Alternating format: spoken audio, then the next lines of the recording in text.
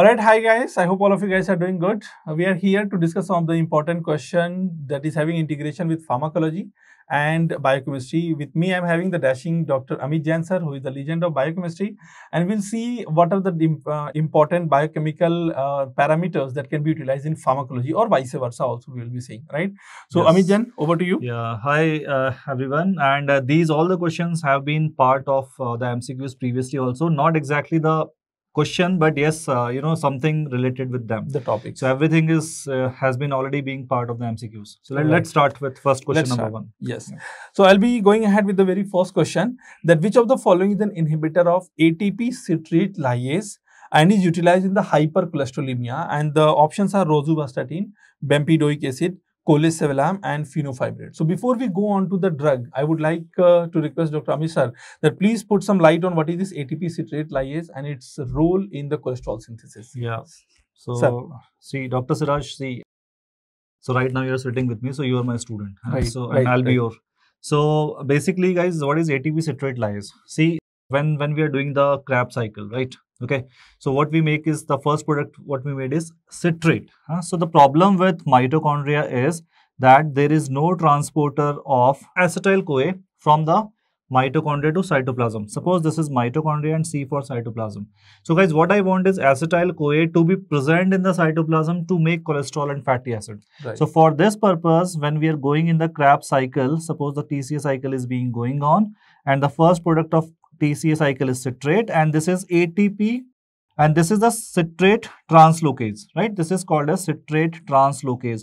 Citrate will be sent out and so suppose this is a citrate and this citrate will be broken down by the enzyme in our MCQ that is ATP citrate lyase. lyase. So lyase means to break into the parts. So it is obviously we know it is made of two things acetyl coenzyme A and oxaloacetate. And guys this acetyl CoA will enter into the pathway, two pathways that is cholesterol synthesis and in the fatty acid synthesis. So guys, both the pathways have this thing in common that is formation of this acetyl CoA using ATP citrate lyase. Oh, right. Right. So, Dr. Right. so excellent, sir. I think I just revised my biochemistry again here that mm. ATP citrate lyase is involved in the cholesterol synthesis and this lyase is actually causing breakdown of citrate to oxaloacetate and acetyl coenzyme A, right? Mm. And imagine, I think the same thing that I would like to add here, sir, what will be the outcome if I simply go and if I inhibit this ATP citrate lyase? I think uh, this citrate will not be causing cholesterol synthesis yes. and that is exactly being done by our legendary drug here by the name of bempedoic acid right yes correct. so bempedoic acid now there are two things i want all my students to remember that a for atp citrate and b for bempedoic acid it's very easy yes. a and b right yes. atp citrate lyase inhibitor will be bempedoic acid now remember currently this bempedoic acid it happens to be the next best alternative to statins right yes. so mm -hmm. if they are going to talk to you that there is a patient mm -hmm. and who is on statin non-responsive to statin even at the highest dose yes. what is the next best choice Again, that's going to be a clinical based scenario, right? Yes, right? So the next best choice for that scenario is going to be none other than your bempedoic acid. So I think that was one of the very quick, uh, you know, assimilation of these both subject that we have seen here. Bempedoic yes. is the correct, and how to remember A for ATP citrate, uh, for bempedoic, bempedoic acid, right? Yes. And what about the other options, sir? Rosuvastatin. You all know these are the statins, huh? So this is one of the HMG CoA reductase inhibitor. Yes, correct. HMG CoA reductase inhibitor.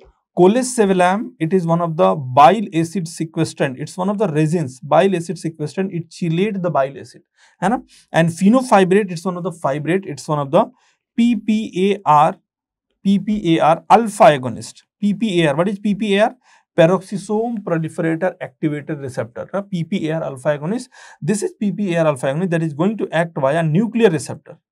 Once they are going to act via nuclear receptor, they will be causing transcription of certain genes that increase the formation of an enzyme known as your lipoprotein lipase. Yes. You see, if lipoprotein lipase is formed, this lipoprotein lipase, it is going to cause breakdown of triglycerides, triglycerides. right? So, triglyceride ka breakdown, triglyceride ka metabolism will be taking place by lipoprotein lipase. So, either you increase the lipoprotein lipase or you increase the activity of lipoprotein lipase, ultimately the triglyceride will be broken down, right? So, PPAR alpha, how to remember this? That's the next best challenge mm -hmm. that, you know, next important challenge that students should know. So, I always used to say alpha will be fibrate, Fa and Phi, Fa and Phi, Fa yes, right? puffy. so that is something that you all can remember because there is something also called PPAR gamma. तो जो gamma वाला होता है gamma gamma glucose तो वो PPR gamma right so that is going to be pioglitazone it's going to be utilized in diabetes right so i think this is a quick uh, you know revision yes. of these all topics i yes. think we can take the next question here sir yeah yeah and and one more thing guys yes. uh, i want to add here like you know anything that you can use for the treatment of hypertriglyceridemia i always talk about the best option is omega 3 fatty acids right, right. the best is so omega 3 which is like commonly prescribed and they are you know activating the TG breakdown and increase the beta oxidation of fatty acids. Again, acting through the PPARs, right? That right, is also right. acting through the PPARs. Right, right. Okay, guys. So let's take the next question. Sir, over to you. So, guys, this is a name, right? That may sound something new for you, but we always cover this in uh, classes also. Inclisiran is a long-acting siRNA or the small interfering RNA that works to lower the plasma LDL cholesterol. It uses small interfering RNA based technology which degrades Okay, so these are the options PCSK9 mRNA in the liver, MTTP mRNA, gene coding for ApoC2 and mRNA coding for ApoA1. Right. So guys, before proceeding to the name of the drug, right, right. let me tell you one thing about siRNA. As we all know guys, what we have to remember one line about the siRNA, which is most high yielding for all the exams, including NEET, PG and INICET. The siRNA or which is also called as RNA interference right guys the name itself says RNA interference or in short that is called as RNAi sometimes we also write the name microRNAs. Right see microRNAs it is something that is made in our own body and siRNA is something that we can give exogenously. Like you know as for synthetic also we can use for as a mnemonic right? Okay. So guys what they do simple they they interfere with the function of mRNA. So what is the function of mRNA? Suppose this is a gene and then single stranded mRNA so guys, mRNA, what it does, it produces a protein. Okay. So this is a new class of drug that will inhibit the conversion of mRNA to protein. Right now we have drugs which are inhibiting only proteins, right? Enzymes. This is a drug which will inhibit the translation of mRNA, interfering with the function of mRNA, correct? So that is our drug in the MCQ. And uh, so Dr. Siraj, over to you. So what is that drug and how it acts? Actually, the inclisiran is a newly approved drug, sir. It is one of the PCSK9 inhibitor. Yes. PCSK9 and whenever they say about a PCSK9 there is something there is a word that we use it is known as your proprotein it's a big name yeah proprotein convertase subtilisin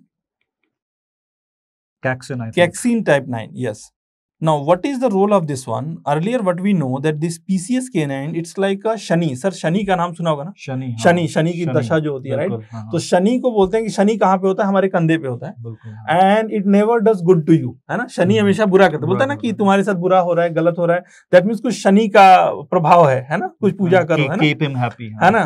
तो शनि को happy रखने के लिए थोड़ा पूजा करना पड़ेगा। समझ रहे पूजा की बात कर रहा हूँ मैं यहाँ पे है ना? पूजा करना पड़ेगा शनि के लिए। तो this PCS K nine is like that Shani नहीं। कैसे?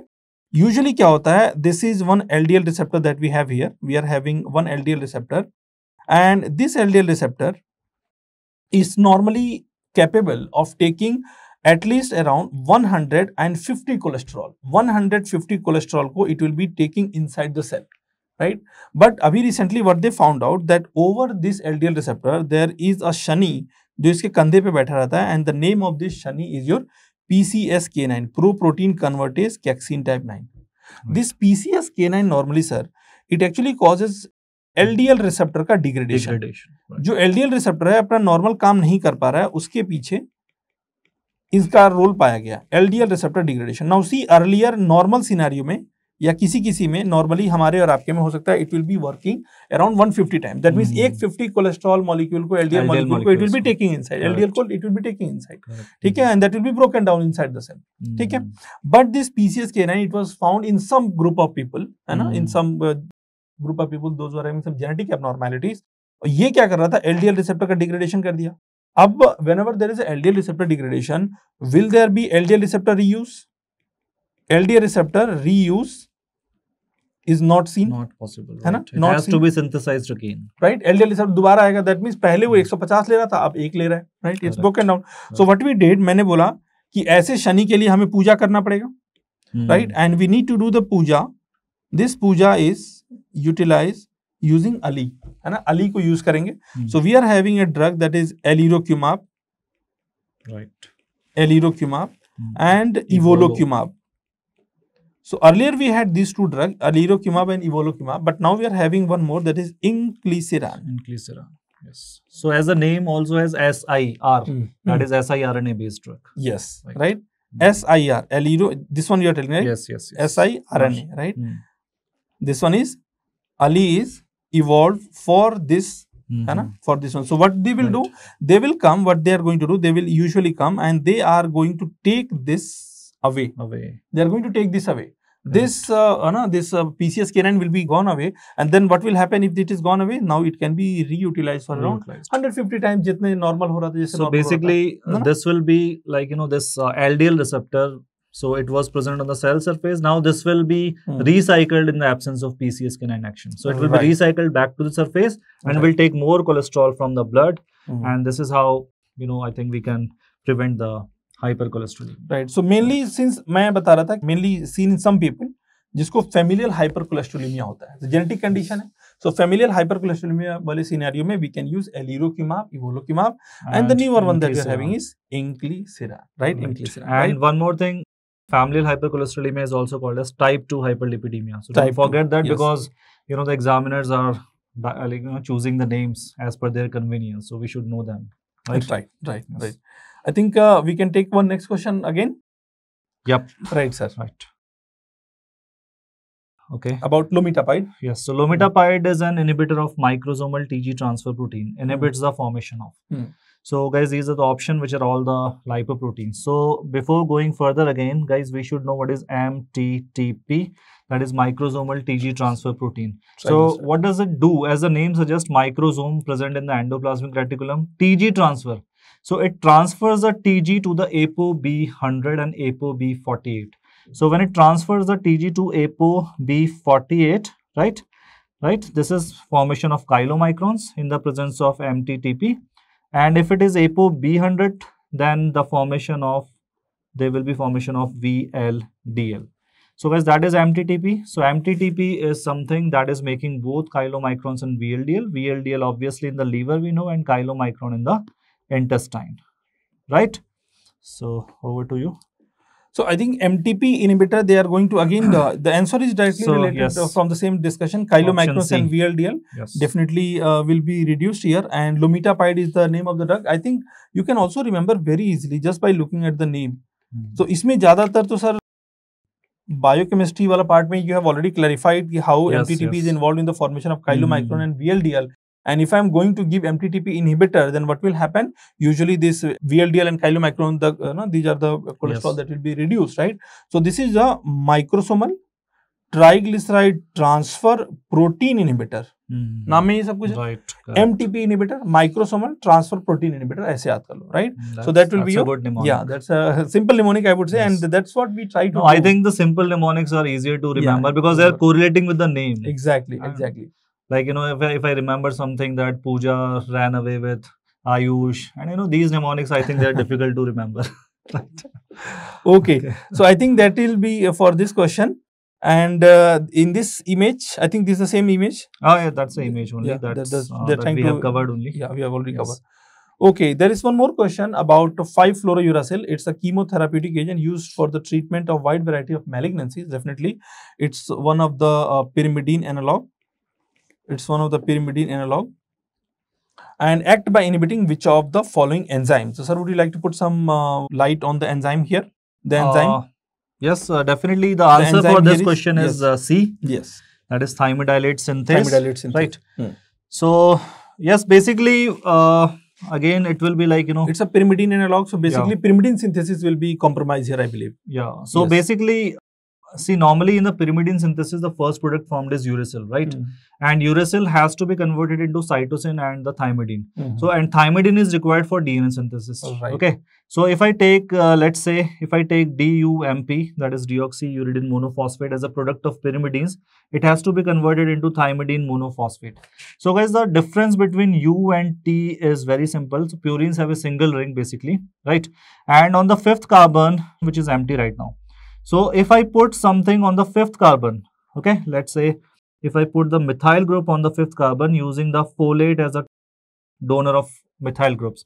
So I'll be using like, you know, folic acid as a donor of methyl group. So guys, this fifth position is now occupied by methyl group and now it is known as thymidine, uracil to thymidine, right? But like Dr. Siraj, now if, if we put the fluorine atom here, okay, that will be our 5-fluorouracil, mm. okay? Mm. So we'll not be able to convert, convert this into the thymidine. Right. So this is the name of enzyme that is called as thymidylate synthase. Synthase. Okay thymidylate synthase. So can I say that fluorouracil, 5-fluorouracil is an inhibitor of this thymidylate synthase? Yes. Yes. And so, that is why if thymidylate synthase is gone, there will be no thymidine formation. Correct. If there is no thymidine synthesis, can we say that this drug can lead to a cell death that is without thymidine and we are going to call it as a thymidine, thymidine. less cell death? Yes. Thymidine less death? Definitely. And this was the question that was asked very, very uh, recent examination with 2023 with thymidine less death will be caused by. So I think pyrimidine analog like 5-fluorouracil is a drug that will be causing thymidine less death. That is one of the important questions. Yes. Second thing that you should know that one of the oral prodrug of the same oral prodrug of uh, 5-fluorouracil, it is known as your capecitabine. Capecitabine. Now, how to remember this one? Oral prodrug is capecitabine and the important side effect that we have is uh, although they will be causing all the side effects yes. like bone marrow suppression alopecia mm -hmm. nausea vomiting wo sab hoga mm -hmm. but the specific side effect that they are going to cause is known as your hand and foot syndrome तो ये सारे के सारे important question है thymidylate synthase inhibitor five fluorouracil और five हाथ में कितने फिंगर है फाइव फाइव फिंगर हाथ से रिलेटेड है तो hand and foot syndrome in addition to the other side effect nausea vomiting alopecia bone marrow suppression वो सब है but five fluorouracil and capecitabine both of them capecitabine and also five fluorouracil 5 fluorouracil they both will be causing capecitabine is the oral prodrug of the okay. same right so thymidylate a synthase inhibitor 5 fluorouracil it will be causing thymidine less, less death. cell death right so this will be about few of the important integrated question that we wanted to discuss with all of you guys. I hope uh, that all of you guys have enjoyed and we can uh, have more such session like this. Let us know in the comment box. Thank yes, you very much. please much. let us know in the comment box whether you liked it and if you want more sessions like that. Thank Definitely. you so much guys. Thank you very much.